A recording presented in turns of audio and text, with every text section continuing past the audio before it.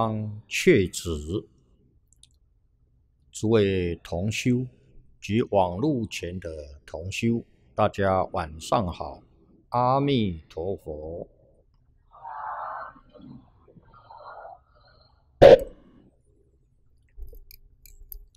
请大家翻开课本《西方阙子》第十一页啊，第十一页。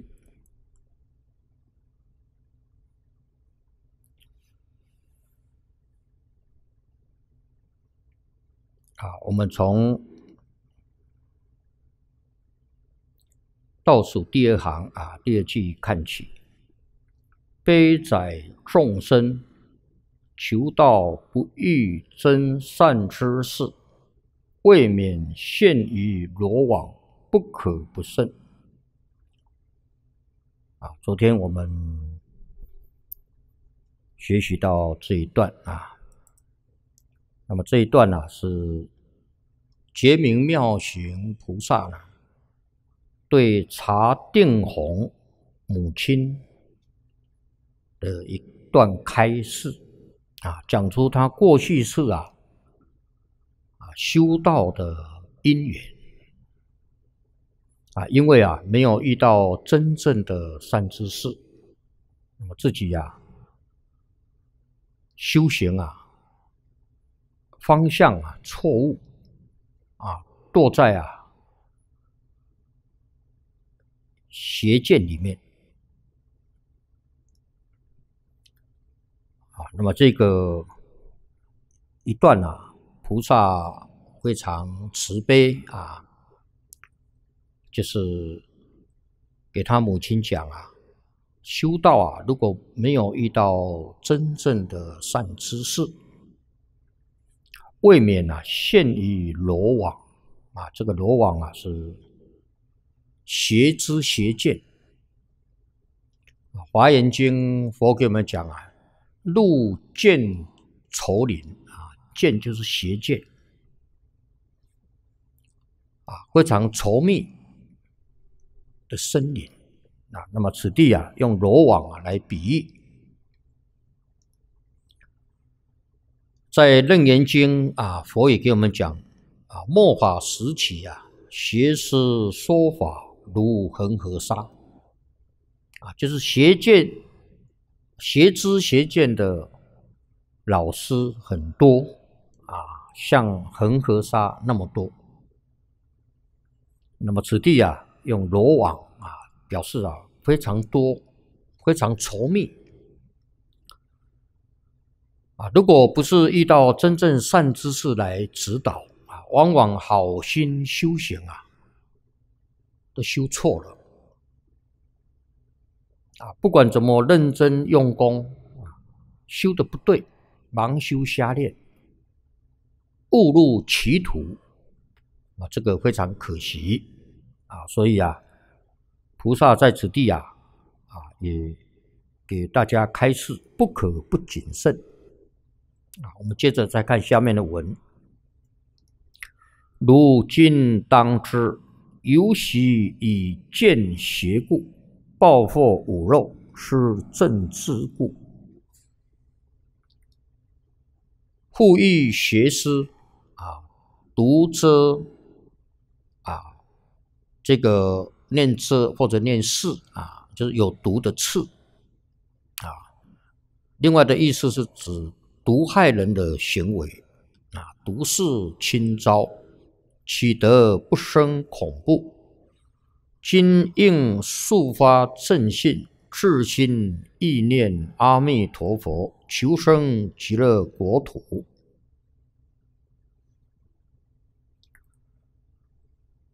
啊，这是给查定红的母亲讲啊。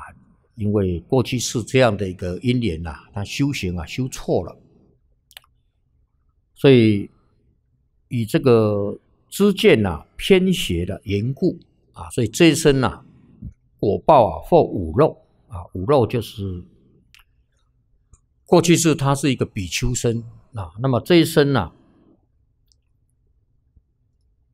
变成女生啊，那么女生呐。有这个五漏啊。啊施政之故啊为什么这一生获这样的果报呢？啊因为呢过去是啊失去政治正见的缘故啊堕入邪见啊所以这一生啊这个果报啊变成凝重的声音凝重的声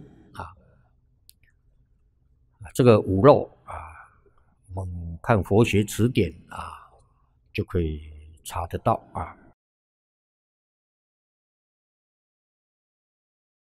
故意邪师啊。故意学师就是又遇到知见啊不正的老师啊，好像啊去遭遇到啊有毒的刺啊，遭遇到邪见的老师啊，那这个邪师啊会给人误导啊，错误的引导啊，让人啊误入歧途啊，堕落啊恶道啊，那这个。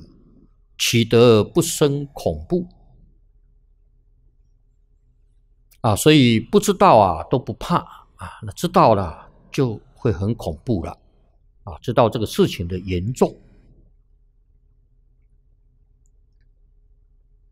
啊，所以现在这个时代啊啊，非常的多，非常的普遍啊，你看啊，过去明朝那个时代。啊，古时候啊，有邪师啊，没有现在这么多啊。现在可以说到处都是啊，你一不小心呐，就跟着邪师啊学错了啊。在这个时代啊，要遇到真正的善知识，真的啊，也是过去式的善根福德因缘才能遇到。遇到了，他才能相信，才能接受。啊，如果善根福德因缘不具足的人啊，遇到了，他还是不能接受。这个真善之事，劝他，他听不进去，啊，不接受。啊，邪师劝他呢，一劝他就马上听了。啊，我们敬老和尚啊，常讲啊，所谓听骗不听劝，啊，真正劝导他的啊，他不相信啊，骗他呢，一骗他马上就相信，啊，那这个一生呐，啊，就要空过了，啊，那么这个后面呢？菩萨劝他的这句话呢，是最重要的啊！今应速发正信，至心意念阿弥陀佛，求生极乐国土啊！这句是非常重要啊，因为这个查定红的母亲呢，过去世是比丘啊，一个出家的男众啊。如果过去生啊，他修净土。念佛往生极乐世界了，那这一生呢，他不是堕在女众的身呐，啊，而是做佛了，啊，那这个怎么能够相提并论呢？所以，在这个时候啊，遇到菩萨来指点呐，那么这个算是时节因缘呐，成熟了。啊所以菩萨劝他念佛求生净土啊，那么念佛往生极乐世界，那什么问题都解决了啊。如果没有往生净土啊，除非自己修行能够断烦恼破无明啊。如果烦恼不能断，那生生世世修行啊，进进退退啊，进的少，退的多。啊所谓进一步啊，退了九步，往生净土啊，就有进无退了，一生成佛。好，我们再看下面的开示：无朽未一有问，得受几何？菩萨是偈曰：人命如朝露，虚浮无定期，未能逃梦幻，何必欲求之？啊，这个无朽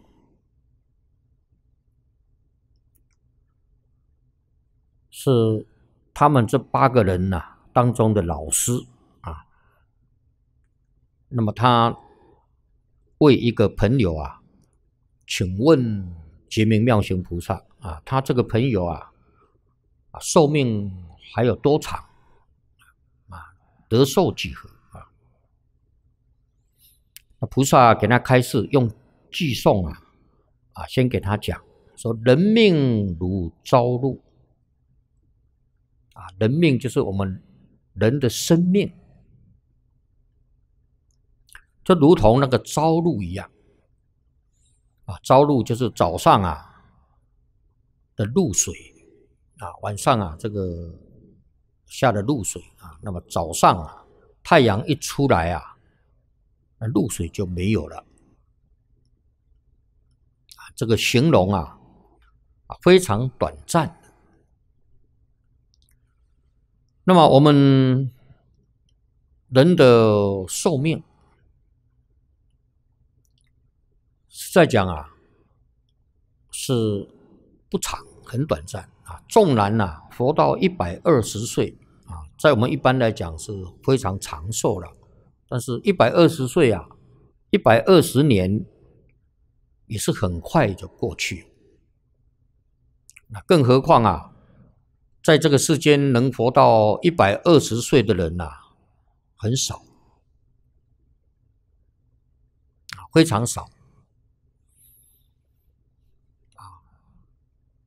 古人有一句话讲啊：“人生七十古来稀呀。”啊，就人生啊，七十岁就很稀有了。在《礼记》啊讲，七十就算老。啊，那么现在呢，啊，有一句话很流行，说人生七十才开始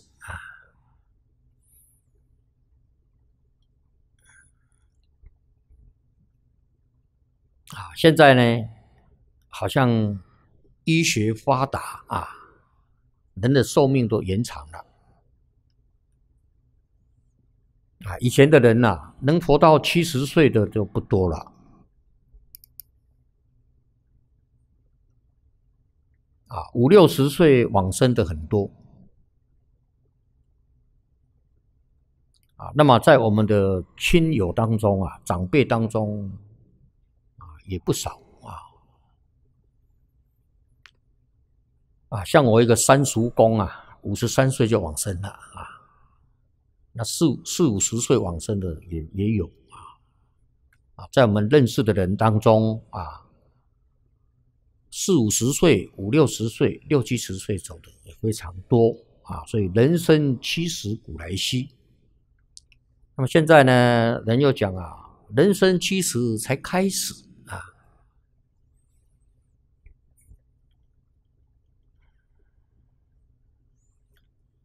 那么这句话呢，是世间人讲的啊啊，因为啊，这个话呢，也有安慰的意思啊。那么人七十岁啊，你不要说他老啊，给他说你才开始啊啊，七十岁才要开始啊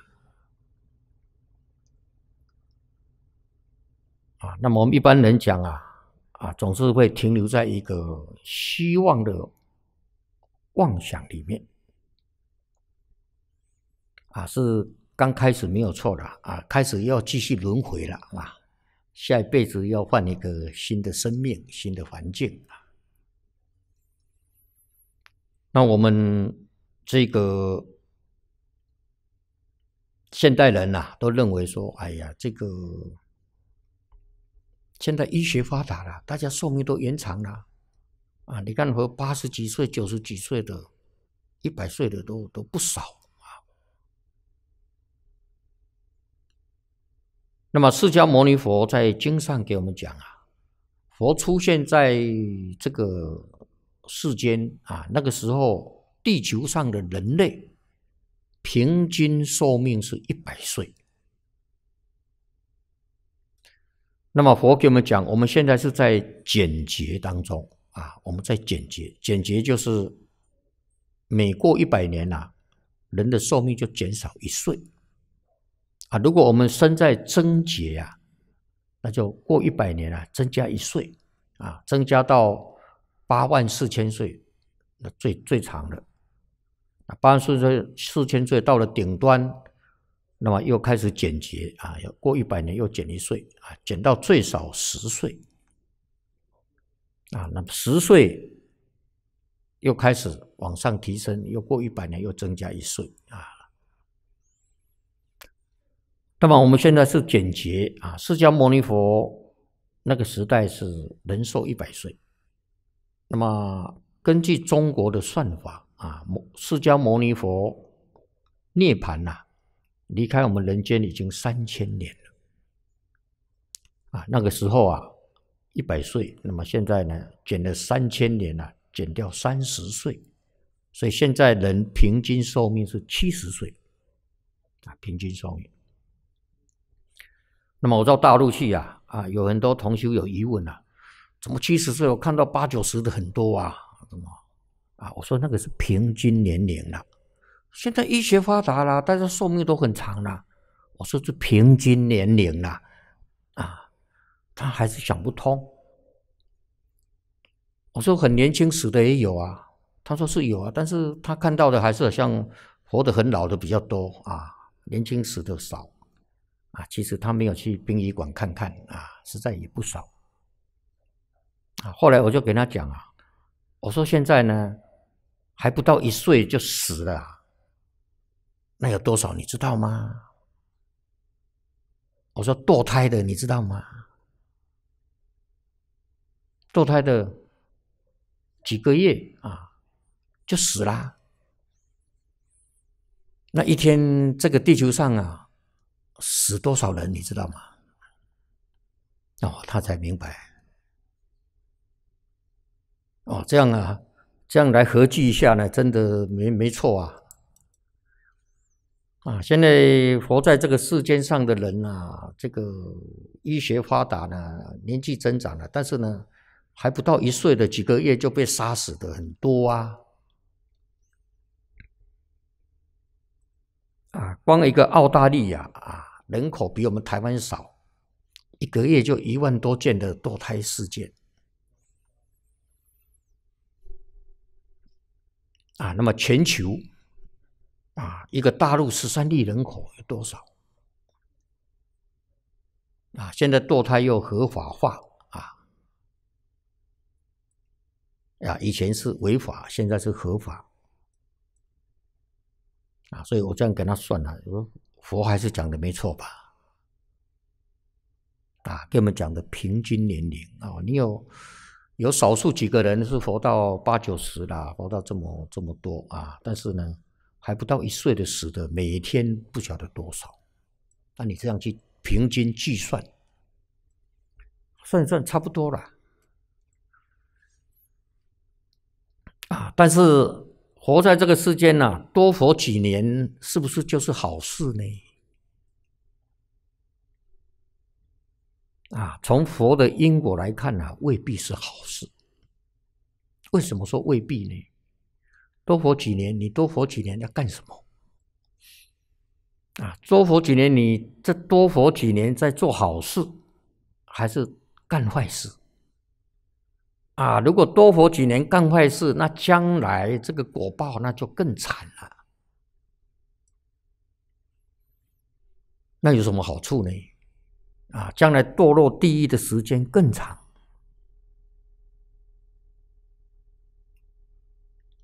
啊，所以啊，这个账啊要怎么算啊。那么，如果活在这个世间呢，做一些对众生有利益的事情，那这个是需要啊多活几年啊啊！如果在这个世间呐、啊、造恶业，那多活几年呐、都多造几年恶业啊，实在讲啊，没没好处，反而有坏处。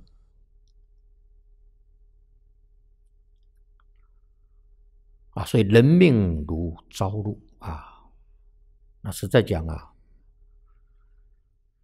人的生命，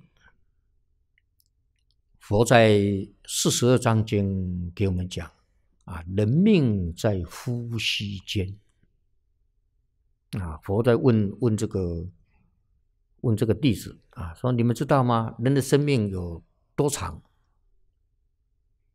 啊，一个弟子说。可能一个晚上，啊，今天晚上啊，上床睡觉啊，明天早上爬不起来了，啊，就走了，啊，就像孔老夫子啊，他不收隔夜的帖子啊，他不收隔夜帖子，他为什么不收呢？因为他担心呐，晚上睡觉啊，那明天就起不来了，给你收这个帖，我要失信了。啊，那么有一个弟子就说啊，是一个晚一个晚上，啊，人的生命就是一个可能一个晚上啊，明天他就走了。那么这个我们在现实生活当中啊，的确也常常听到。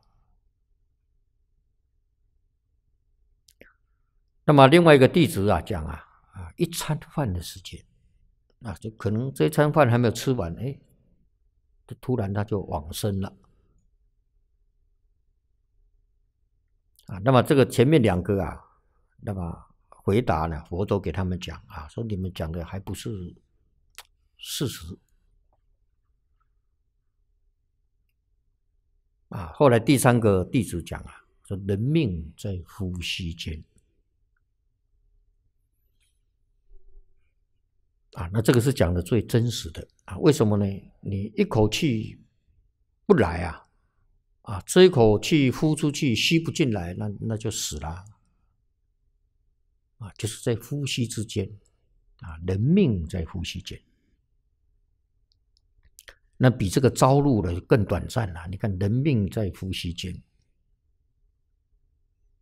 啊！你看去年那个西班牙竞争协会那个陈会长。啊，陈永生啊，什么陈永信居士啊，还有宜兰陈永煌居士啊，哦，当初我都我都叫他们是三兄弟永字辈的啊，啊，那么他也是今年如果在六十六，啊，去年呐吃中饭。啊，他喝几口汤啊，啊，就餐桌上就心肌梗塞就往生了。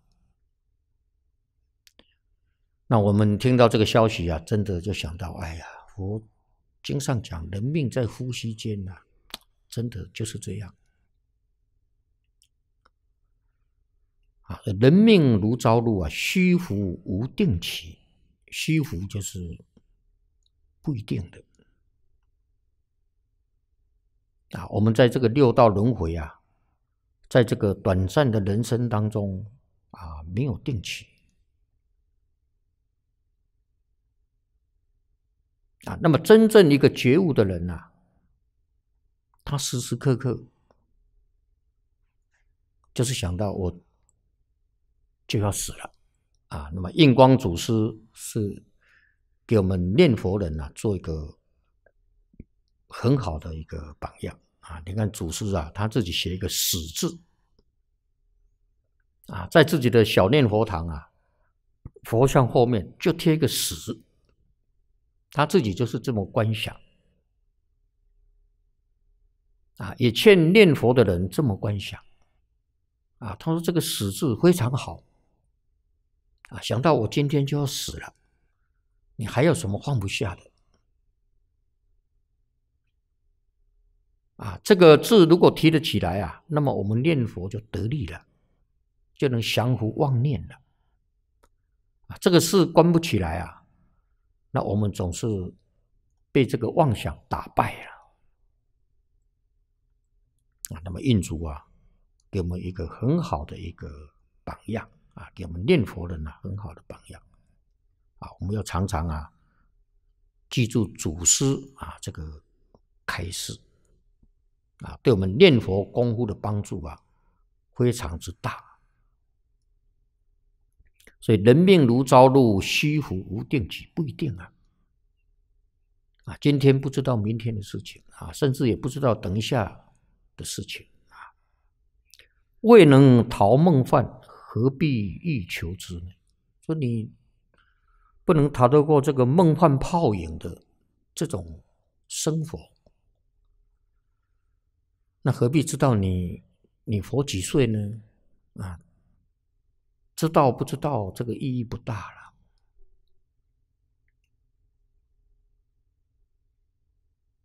啊！何必要知道呢？啊，那不知道还比较好，知道那又能怎么样呢？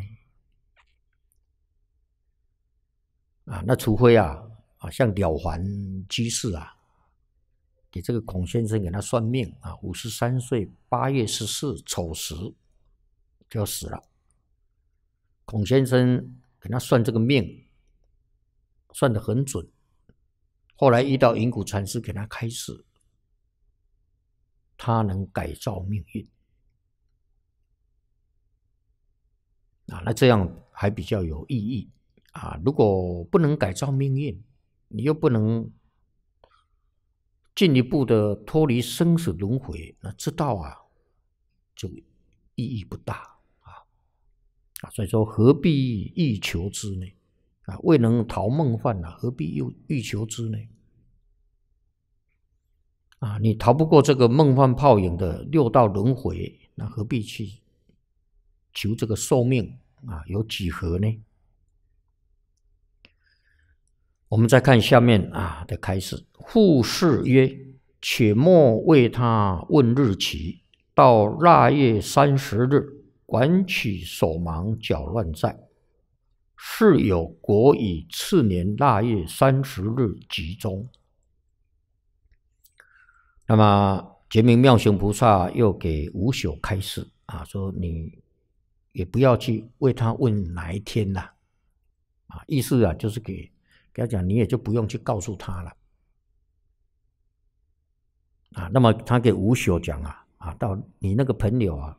到腊月三十日，啊，腊月啊，就是农历十二月，啊，年底那一个月，啊，一年呢最后一个月，三十日就是除夕那一天，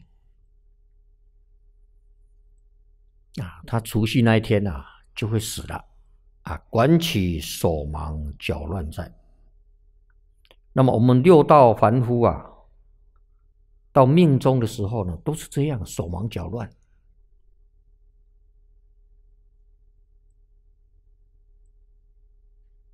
啊，不能了生死，那都是手忙脚乱，啊。是有国以次年腊月三十日集中啊，那么他个吴晓的吴晓的朋友啊，果然呐，第二年啊，腊月三十日那一天呐，吉就是生病走了，啊，就是除夕那一天。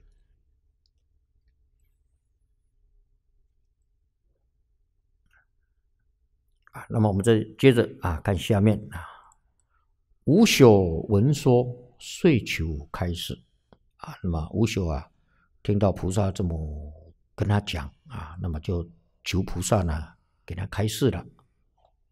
菩萨曰：“言伯当知，学道而不明此心，譬如造屋无基，渡水无法，欲明心者。”当维系观旧，此身此心从何而有？即四大虚幻，心将随寂，身心俱幻，世界为尘，了无差别。目前万法从何处生？从何处灭？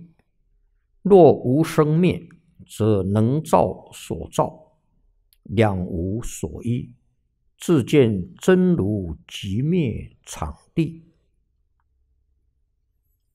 啊，那么菩萨给无朽开示啊，说言伯当知啊，那这个言伯可能他跟他取的法号啊，学道而不明此心，啊，这个是在《楞严经》啊，佛讲的最详细的。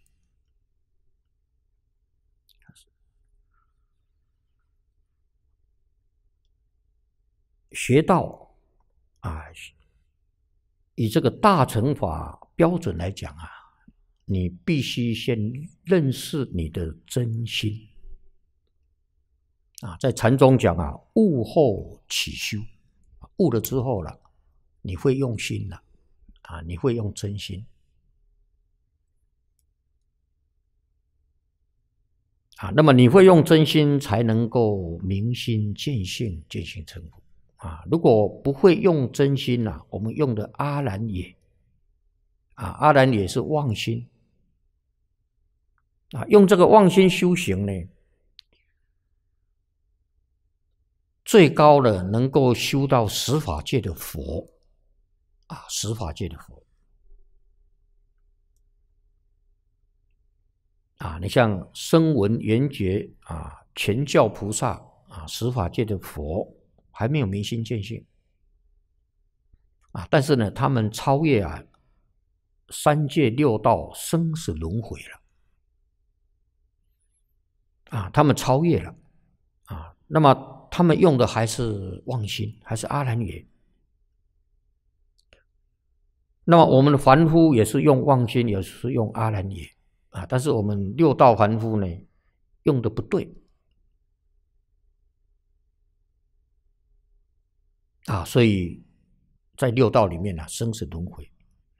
那么四圣法界的活菩萨、声闻缘觉，他们阿兰耶啊，虽然他们也用过心，他们用的正，我们用的邪，啊，用错了在六道，用对了在四圣法界，啊，他们还是用妄心修行，啊，不知道啊。真心不认识真心啊，不认识真心，但是他们修的很正啊，就是依照佛的指导，妄心呐用的很正啊，所以他们能够到四圣法界，能够了生死啊，但是呢还不能明心见性，因为他们用的是妄心。你要明心见性啊，必定要用真心。啊，不管你修哪个法门都一样。啊，那么十法界的佛还没有明心见性啊，他断见思烦恼，断尘沙烦恼啊，但无名没破啊，因为呢，他没有用真心，还是用妄心啊，所以天台中分这个佛啊，有六级佛啊。理即佛啊，就是我们所有众生跟诸佛菩萨一样，从理论上讲，大家都有佛性，都是佛啊。理即佛啊，第二个呢，明智即佛啊，明智啊，就是听经学佛了啊，知道啊自己本来是佛了啊，但是呢。还没有真正修行。第三个观行即佛啊，观行就是开始修行了，修观了啊，功夫得力了啊，但是还没有断烦恼，还没有断见思惑、尘沙惑啊。第四个呢，相似即佛啊，相似啊，这断烦恼阿罗汉以上的。啊，到十法界的佛菩萨很像佛啊，但不是真的佛啊，因为他还用阿兰也用妄心啊，所以叫相似即佛，很像啊。第五个呢是分正即佛啊，就是破一品无名，正一分法身啊，四十一位法身大士，那是真佛了啊，他们用真心了。啊，第六个呢，就近即佛啊，这个无名破尽了啊，证得究竟圆满的佛果。那么这一段呢，啊，菩萨的开示啊，就是讲啊，学道呢，如果你不明了啊，这个心，此心就是真心，你不认识这个真心啊，譬如造屋无基，渡水无法，好像你要盖房子没有地基，那怎么盖呢？啊，你要渡水啊，没有船筏啊，那怎么渡呢？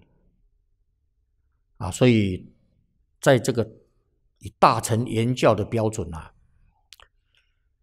修道啊，像禅宗讲的“悟后起修”啊，要教你先认识真心啊。那么这个认识真心呐，大家如果不怕麻烦啊，请读《楞严经》哈。开会楞严啊！我第一部听老和尚讲的经就是楞严啊，所以对楞严呐也印象比较深刻。楞严呐，就专门找心的啊！你看楞严经啊，七处真心啊，这个佛就问阿难啊：“你心在哪里？”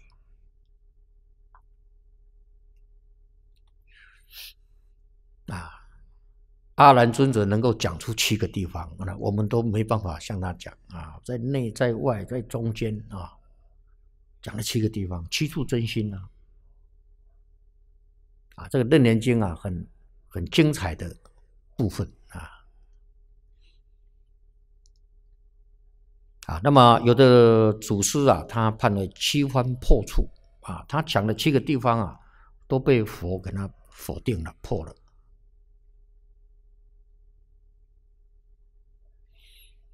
啊，这个详细啊，要讲楞严啊，那个一层一层给你分析啊，那比较花时间了。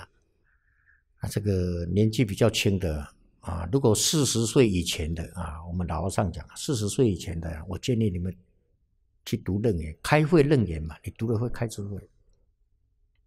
啊，四十岁以后啊，我建议你，你不要管他真心妄心，你去阿弥陀佛念到底就对了啊，就。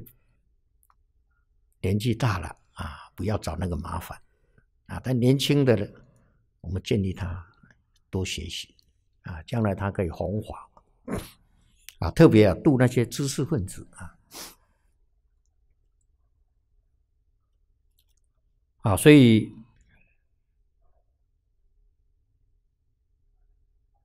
你不认识真心啊，那么没办法修行啊，所以。禅宗教下啊，都要先明白这个道理。你真正会用心了，那么你才会修行。那么这个标准呢很高啊，这个标准很高啊。这个标准啊是大乘啊原教啊，因为这个天台宗判四教啊，华严判五教。啊，五教是小时中顿圆，啊，天台啊判藏通别圆。那么他这个讲的标准呢，是在原教啊，原教的标准，啊，它的基础啊建立在真心这个上面。那么如果你没有前面那个小乘教啊、方等教这些基础啊，这个是讲到般若了。啊，你也不得其门而入。那么菩萨给这个无朽开示啊，这个过去啊，他们都修行修了很久了啊，所以他对他开示啊，如果没有这个基础啊啊，开示这个大臣啊，他还是不得受用啊。但是我们。啊，可以听一听啊，这个是可以的啊，听得懂就懂，听不懂也没关系啊。不要呢一直去想啊，你越想就越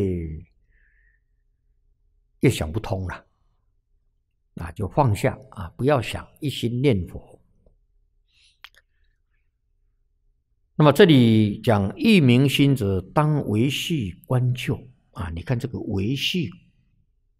观是什么呢？观照。就是什么呢？参救。啊，观照参究，那么这个都是禅宗啊用的方法。啊，禅宗啊，你没有开悟啊，不准你看经典。啊，跟教下不一样啊，教下用经典啊，慢慢给你分析，给你给你讲。啊，因为这个大乘境界是不可思议的境界，讲也讲不出来，你想也想不到。啊，但是佛呢，在这个经典上有善巧方便来引导。用这个经教啊，引导我们入那个真实。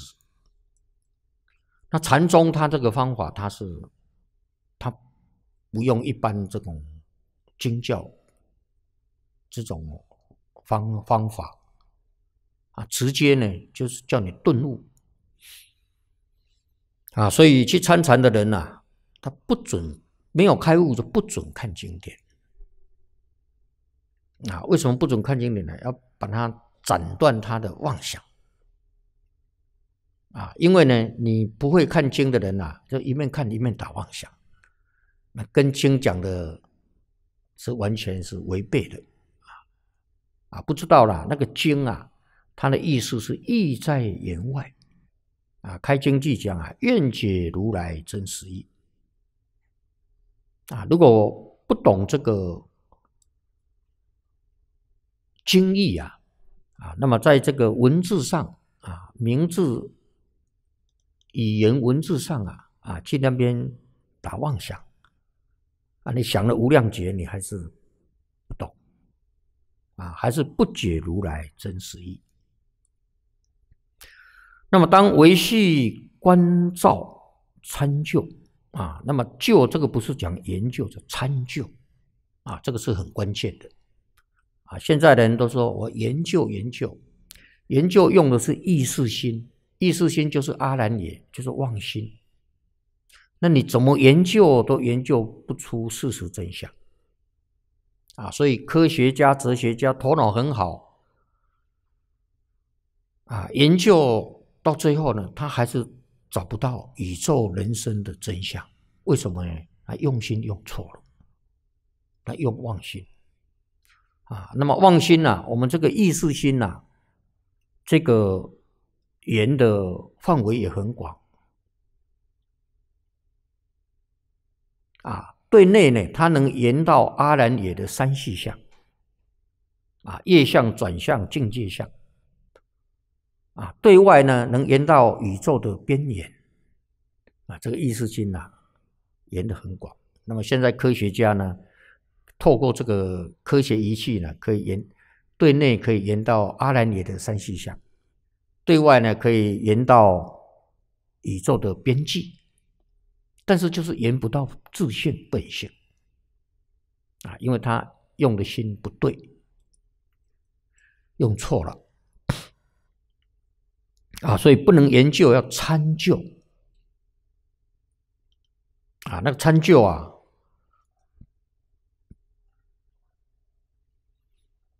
这叫你参的啊！你不能用去想的去研究啊！我来研究研究，那不行啊！研一研究一想就堕入妄想妄念，那你怎么想啊？想想不到真实的啊！所以禅宗啊，有些学人啊，去跟禅师参禅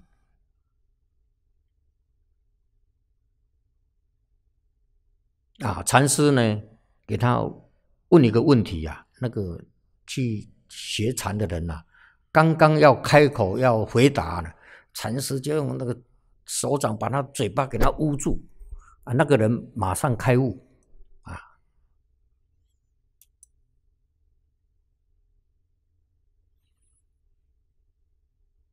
啊，这个禅宗在中国这个佛教史上啊，啊，那么很多种方式开悟的很多，啊，也很有趣。啊，有的去参禅呢，啊，问问题，啊，口一开呢，香板就打下去了，不能开口啊，开口变错，动念即拐啊，所以不能开口，不能开口。好了，那就干脆不要讲了。那不要讲也不行，相反又下去了。他开口也不是，不开口也不是，啊，逼到最后呢，哎，他突然大彻大悟。禅宗用这种方法参就，逼你开悟啊。那么如果是这样的根器啊，遇到真正高明的禅师啊，那么用这种方法。那可以帮助人啊顿悟啊！如果不是这个根器啊，如果遇到那个禅师啊，现在我看到很多人名片都印什么禅师，我看他一点对禅一点都不懂啊，印的名片哦，他是传第几代的啊？什么曹洞宗的啊？好，我们遇到这些人啊，我们也不好意思去去给他揭穿啊。揭因为揭穿他，他还是不知道啊，那些都是外行的啊，外行的。那么下面讲啊，此身此心啊，从何而有？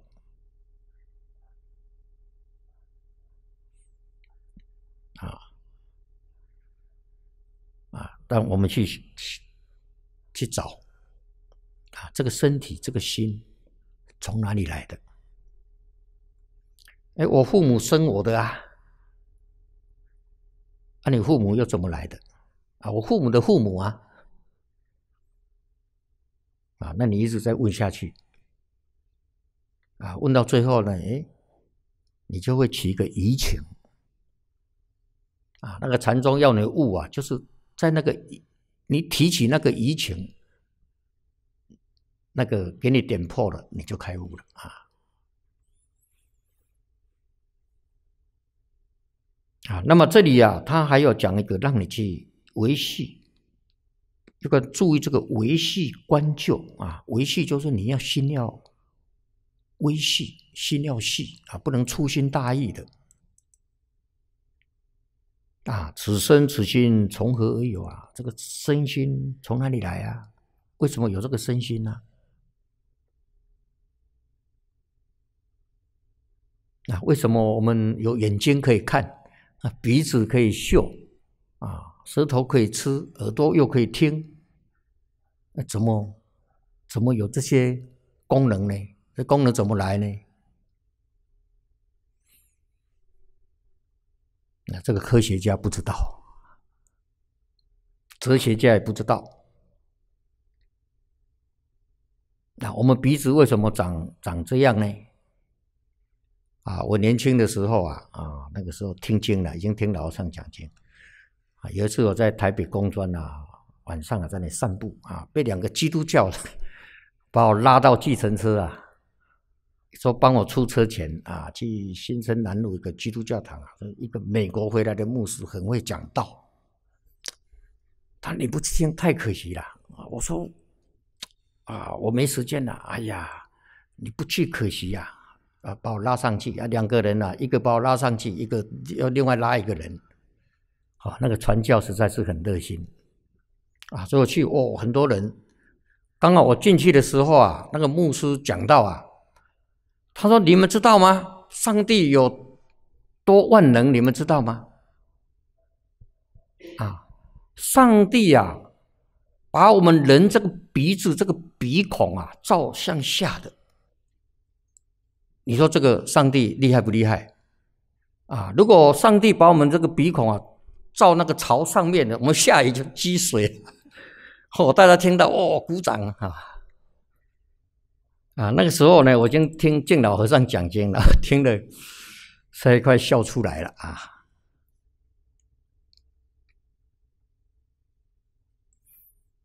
我现在来考一考啊。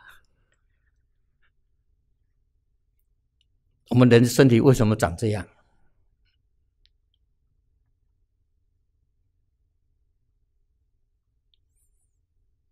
啊，大家要读《无量寿经》吧？啊，啊，《无量寿经》给我们讲啊，不可思议业力所致。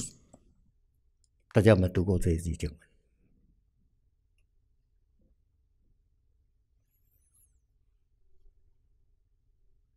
啊，那佛跟你讲的很清楚了，不可思议，你不可以用你的思想去思维，不可以用你的言语去议论，就给你讲不可思议的，你偏偏要思要议，你说你思议的出来吗？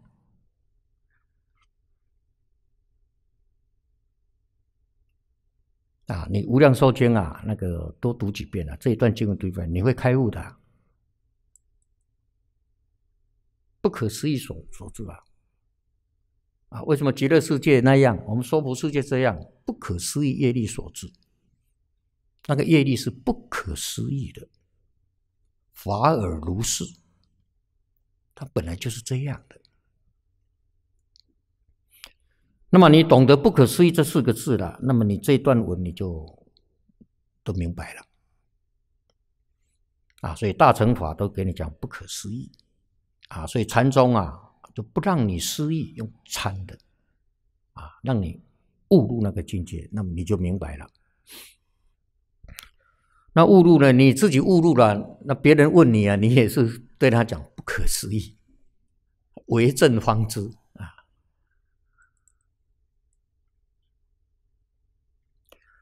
那么这里一层一层给我们讲啊啊，此生此心从何而有？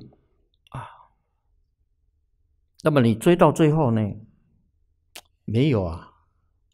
像阿兰尊者呢，七处真心找了七个地方啊，他找到心方啊，他真的心不晓在哪里呀？即四大虚幻，心将随聚。我们这个身体是四大虚幻组成的。那么我们这个心呢，要寄存在哪里？这个身既然是假的，你说记在这个身体啊？阿阿兰讲啊，心在里面啊，佛说不是啊，他心在外面啊，我也说不是啊，我心在这中间啊，这跟外面离，我这身体里面跟外面那个当中，那也不是，找了七个地方，心将随记啊，大家有没有看过？达摩那个像，啊。啊，达摩啊，那个像啊，都是一只手上伸出来啊，那个就是慧可啊，去参达摩啊，慧可说：“哎呀，去那边跪了三天三夜啊，这个达摩祖师不理他啊，他把这个戒刀啊。”这个手被砍断一个啊，后来达摩啊，才问他了啊，说你何苦呢？你你你这么辛苦啊，跪在雪地三天三夜，又断了一只胳膊，你这何苦来哉呢？你为的是什么呢？他说：“我心不安，求你帮我安心。”啊，那达摩啊，说好，心拿来，我帮你安。啊，慧可一下子回头回光返照啊，他忽然哎，心在哪里啊？找不到啊！啊，所以慧可说：“密心了不可得啊，我找心找不到啊，不知道在哪里。”以汝安心静。啊，达摩跟他讲：“先给你安好了。”啊，他这句跟他讲完，他当下就大彻大悟了。啊，所以记四大虚幻呐，心将随记啊，记在哪里呀？那不是记在这个身体呀，啊，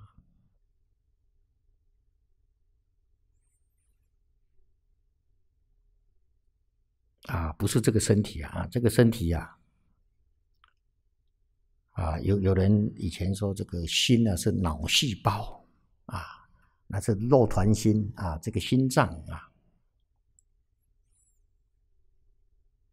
那其实都不是啊。你说这个心是心脏啊，现在医学发达，人可以换心啊，这个人刚死的，有人捐器官的啊，他这个假的心脏可以移植到乙的心脏啊，那这个假死了。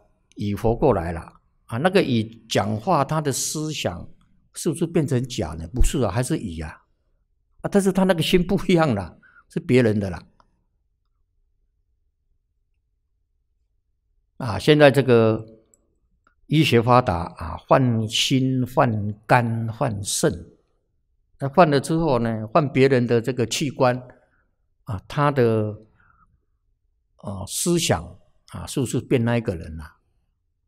不是啊，那说明呢，那他那个心的不是那个身体的哪一个器官哪一个部分嘛？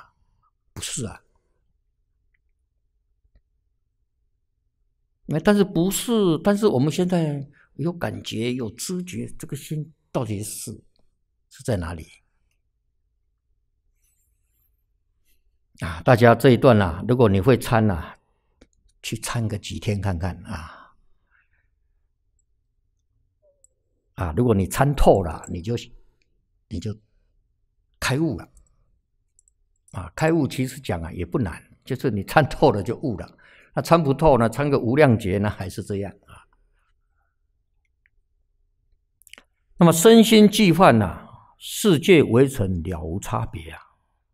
我们这个身心既然都是虚幻的，你也找不到。那整个世界微尘呐，跟我们这个身心不是一样吗？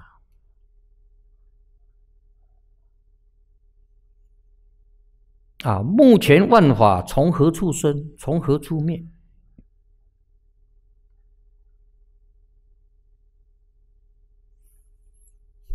啊，我们现在要找生灭啊！现在这个科学啊，都要找个宇宙的起源啊。那么净老和尚讲这个《华严经》啊，啊，这个完颜观啊，望尽梵连观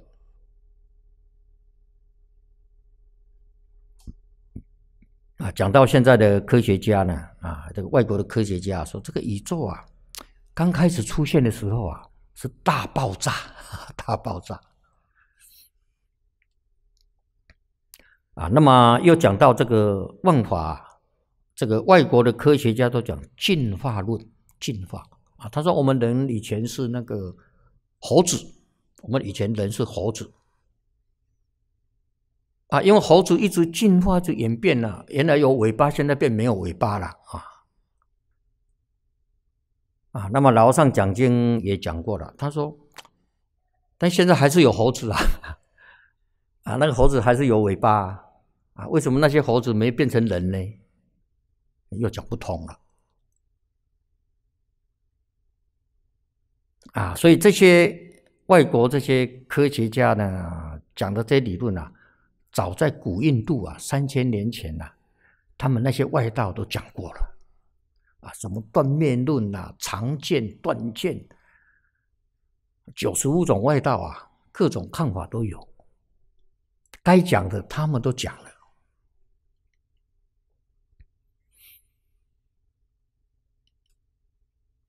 啊，所以目前万法，它从哪里生的？啊，又从哪里灭？啊，实在讲啊，佛在《华严经》就给我们讲的非常详细啊，因为我们没有证入那个境界呢，我们还是有个疑惑啊。那么古来祖师大德呢，他证入那个境界，他亲见了，他们没有疑惑。那么我们现在呢，从这个经教里面呢，能够悟是解悟，不是证悟。你没有自己亲证那个境界，不是证悟，是解悟。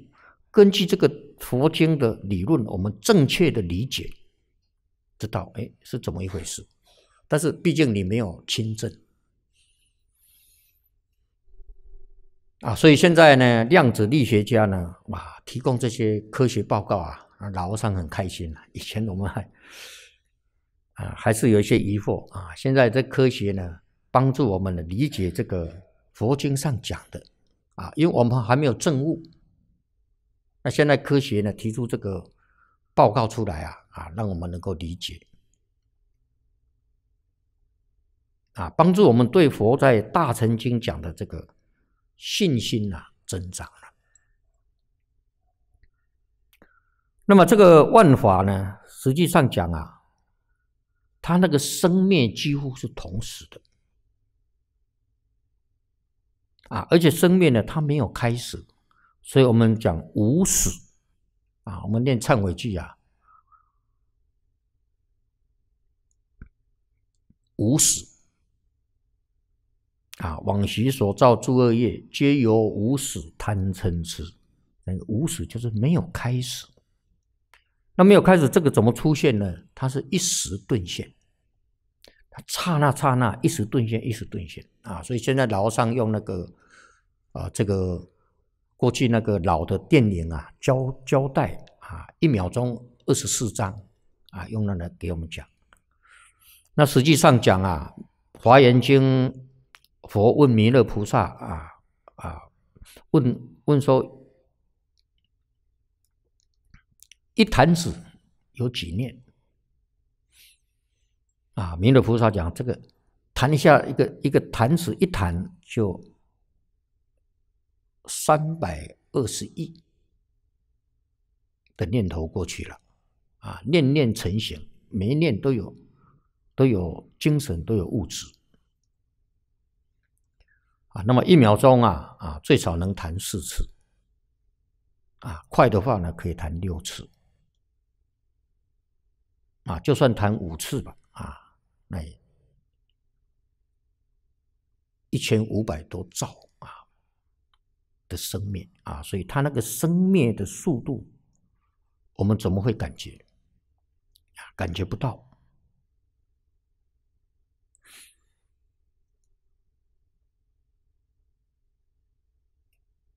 啊，所以有生灭，实在讲就是无生灭。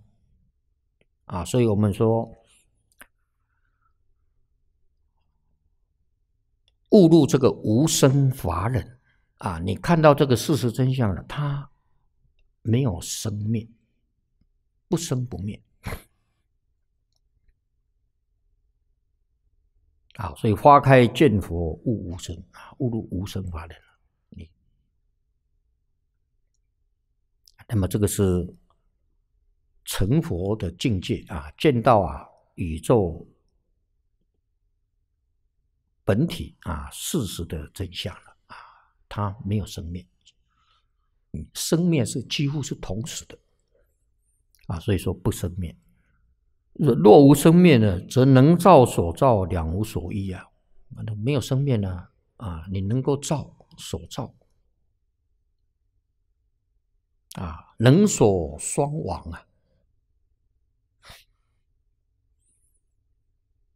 啊，自见真如即灭场地啊，那么你就见到真如实相了啊，诸法实相啊，你就见到了。那诸法实相在哪里呢？就在我们眼前呢，就在眼前，我们就是见不到啊。为什么见不到呢？因为我们现在那个心呐，在动，起心动念的在生灭。啊，你这个念呢，一停下来啊，那你就看到真相了。那么这个一段呢，啊，文字不多啊，但是呢，我们要深入去细讲啊，啊，那这个经典注解就啊相当多了，啊，相当多。那么菩萨开示呢，他也是看根基的啊。这个无朽啊，是他们八个人当中的老师啊，说明他这个聪明智慧呢比较高的啊，所以他才当他们老师嘛。啊，所以跟他讲这个高层次的佛法啊。那么这个我们能理解是最好啊，不能理解也没关系啊。我们念佛法门呐。你就念到啊，能念所念呐，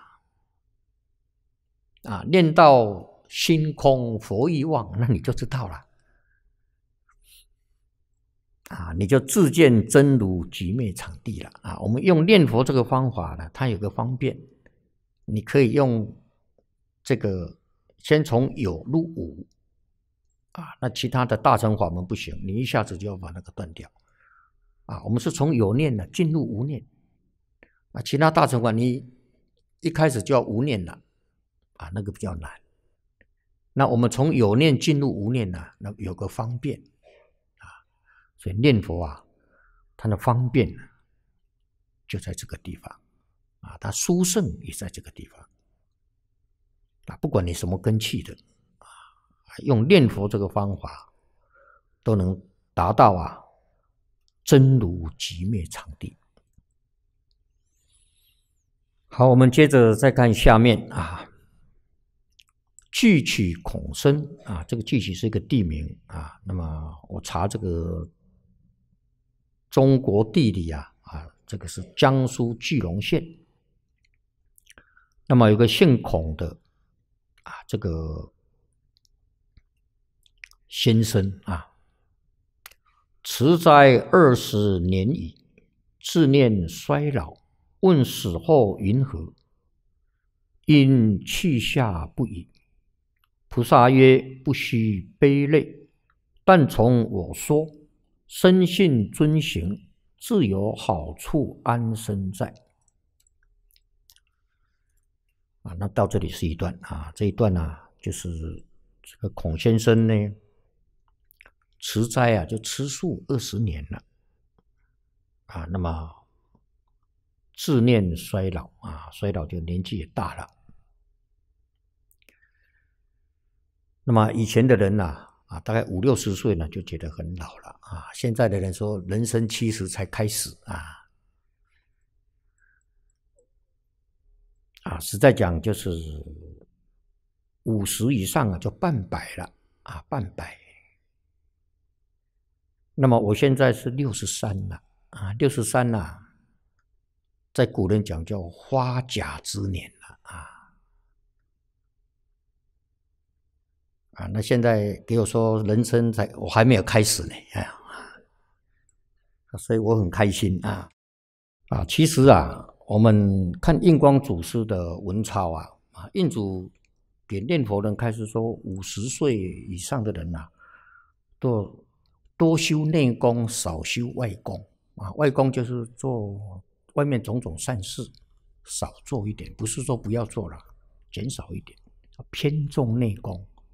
什么叫偏重内功呢？多念佛啦，佛多念一点就是偏重内功，少做外功。啊，如果半百以上的人呐，呃，偏重外功啊，少修内功，可能这一生又往生不了。啊，所以要往生呐，还是要佛多念一些。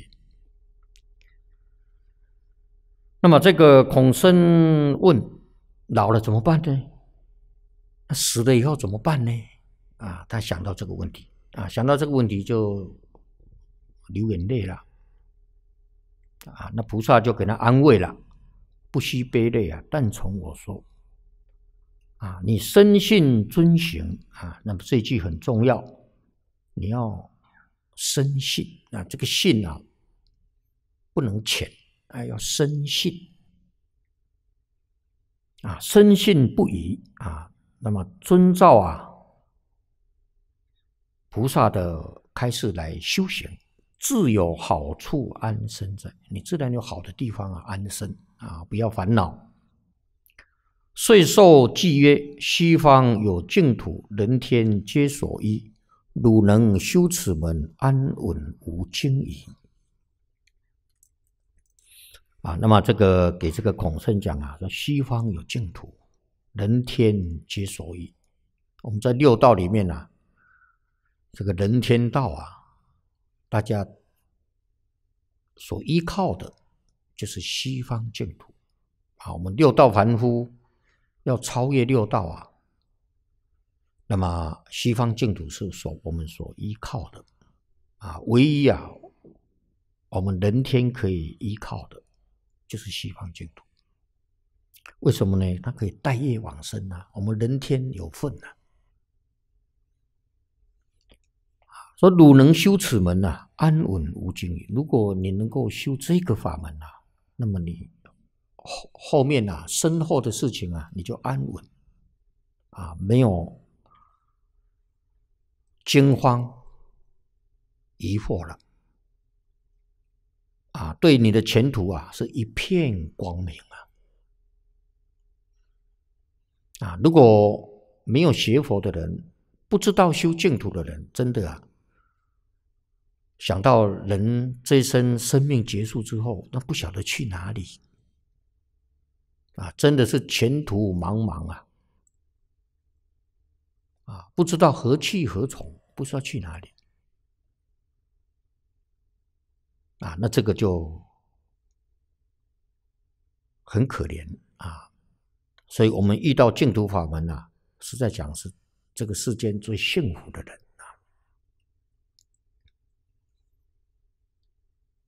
啊！我们再看下面这一段开示：沈文州以伤寒名家，四字作礼。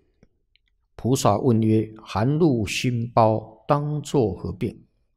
答曰：“名重寒。”因欲诸人曰：“汝等但知寒露心包，名重寒之疾。若邪入于心，即为殒命之病也。如诸人但以生病为病，调之治之，至于心有大病，则不问名医，不求妙药，任其患苦而莫知觉，哀哉！”啊，这个一段开示啊，啊是有一个医生呐，啊叫做沈文周，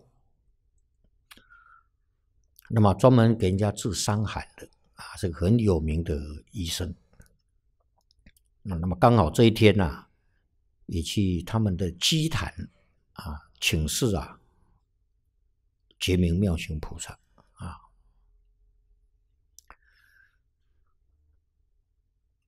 那么菩萨就问他了啊，你做医生啊，你又是专门啊治这个伤寒的啊？如果寒入心包呢，当作何病啊？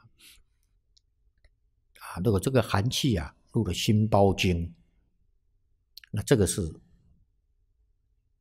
叫什么病呢？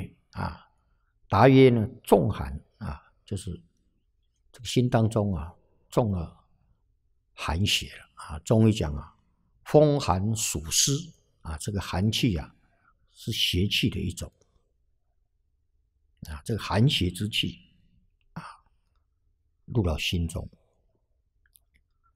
那么菩萨就用这个来比喻啊，给大家开示了啊，阴郁啊，用这个医家这个名词啊，来比喻啊，给大家讲。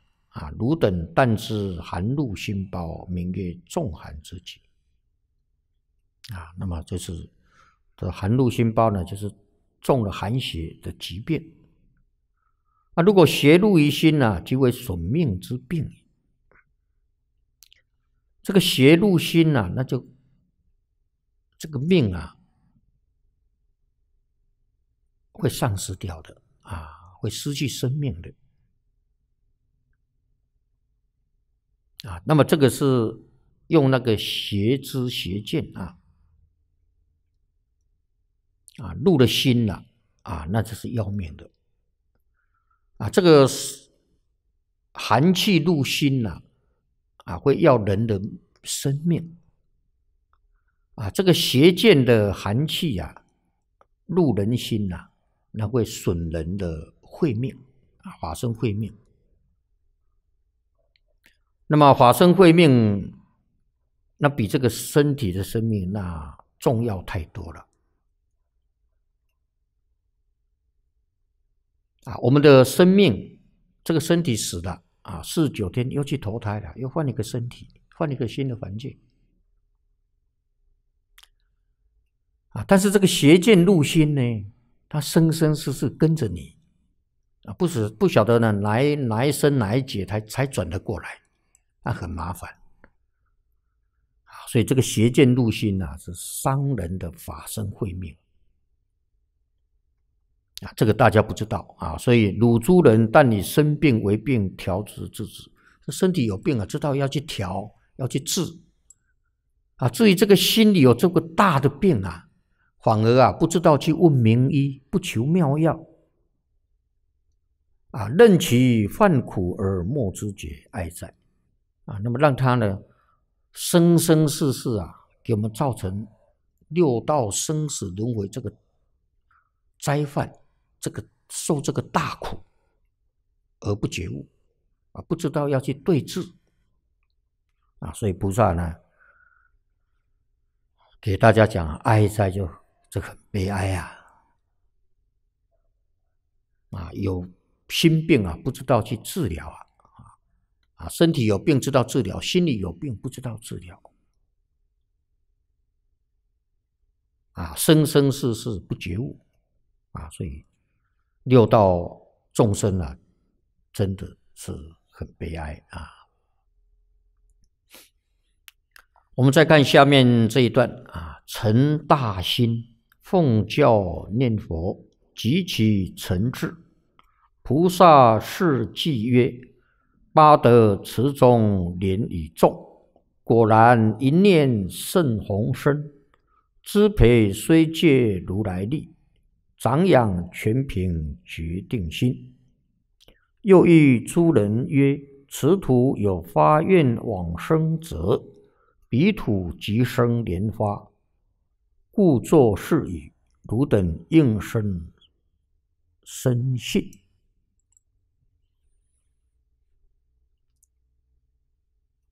啊，这个一位居士叫陈大兴啊。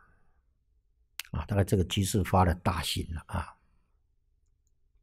奉教念佛，极其诚挚啊。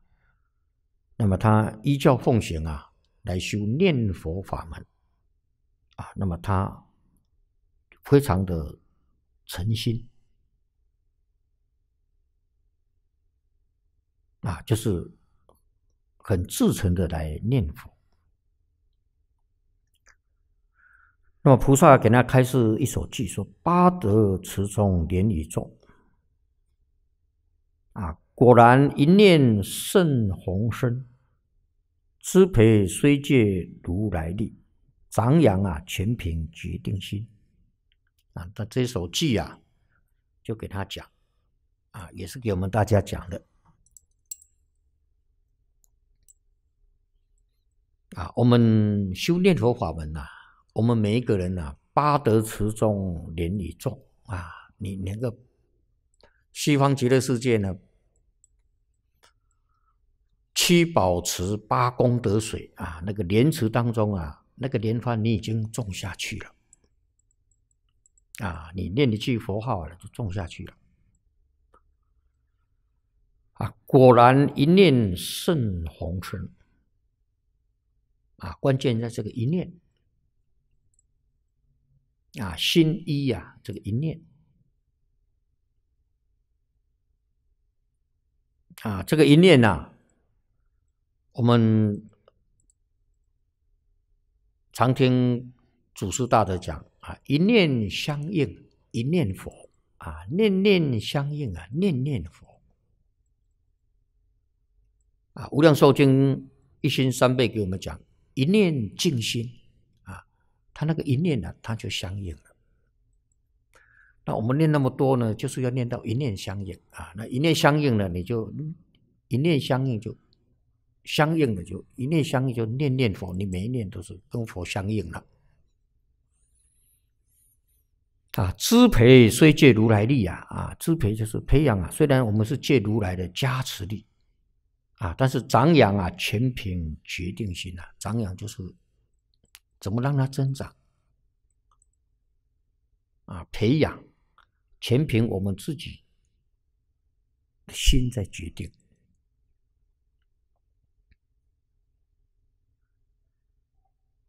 啊。那么这个就是讲啊，自他恶力了啊。你看呢，我们要借如来的力量啊，那么也要凭自己决定的心来培养，来增长啊，是。两方面的啊，两方面自他恶力。又遇诸人曰：“啊，此土有发愿往生者啊啊！”又给大家开示啊，说我们此土就是娑婆世界，我们现在住的这个世界。如果有人发愿要往生西方极乐世界，彼土即生莲花。那么我们念佛的同修啊，每个人都发过愿啊。那么有时候啊，我们真的发现啊，真想往生西方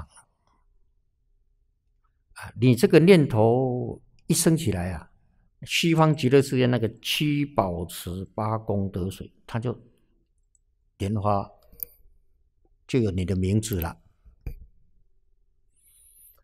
啊，如果过几天呢，又不想去了啊，这里孙子还蛮可爱的啊，啊，现在还不想去啊，那莲莲花又又消失掉了，啊，哪一天呢，又又想要去了，那莲花又出现了啊，啊，刚才一个老菩萨来找我啊，他平常有去善果林参加法会，七十几岁了，最近呢，那个脊椎骨啊摔倒了啊。那这个站站也不舒服，坐也不舒服，躺着也不舒服。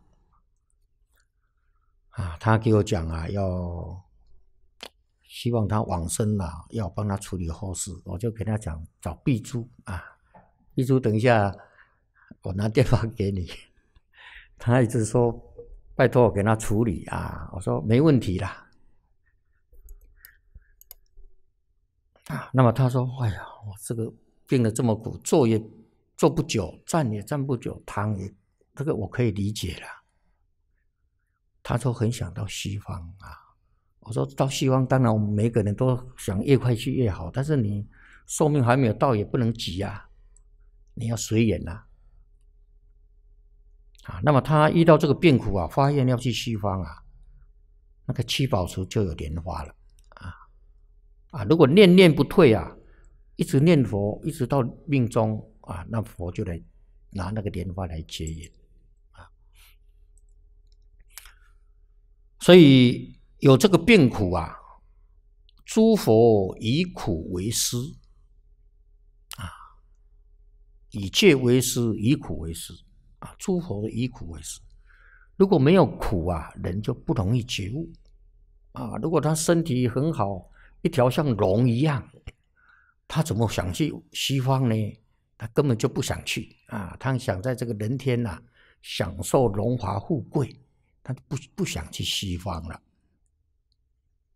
那么有了病苦啊，就觉得哎呀，这个人间真苦啊！啊，听说极乐世界很好啊，无有众苦，但受诸乐，我们很向往要去啊！这样啊，愿就生起来了。那么你动了这个念头，阿弥陀当然知道啊，啊，只是时间还没有到啊，他还不会来接引啊。时间一到，他就来了啊啊！我我跟他讲，不要急啊，在这里受一些苦啊，也是消业障啊，业障消尽了，那么你就可以往生了啊。所以彼土即生莲花啊，故作是语啊。汝等应生生信啊，这句话很重要啊。我们往生净土就是信愿行。那么，如果我们这个信心不深入啊，这个愿呢常常会退掉啊。有时候想去，有时候又不想去啊。大部分会停留在这个阶段。我自己都有这种情况，不知道各位有没有这种情况啊？啊，有时候病的啊，实在是受不了了啊！我我一生病哦，我就那个愿力就会特别强啊，去往生的愿呐，我就会特别强啊。那等下稍微舒服一点啦，啊，就又又比较没有那么强烈了啊啊！如果我一病了哦，我就很强烈的要往生啊。那么我们要培养这样的。念头啊，就是你一旦有病啊，就发愿往生啊，不要发愿求病好啊，发愿求往生，反正会好就好，不好我们就往生嘛。我们本来就是要去西方嘛，啊，去西方换个莲花化身无量寿多好呢，何必在这里受苦受难呢？何苦呢？啊，要常常这样想啊，安那。你常常这样做如是观啊，那么你慢慢啊跟极乐世界它就相应了。你说什么时候相应？你这个愿一升起来，马上就相应，多快呢？啊，你就会感觉到，哎，西方就在眼前，不是十万亿佛国度，是在眼前啊啊！如果你不想去了，那是不止十万亿啊，十万亿又十万亿了，不止啊。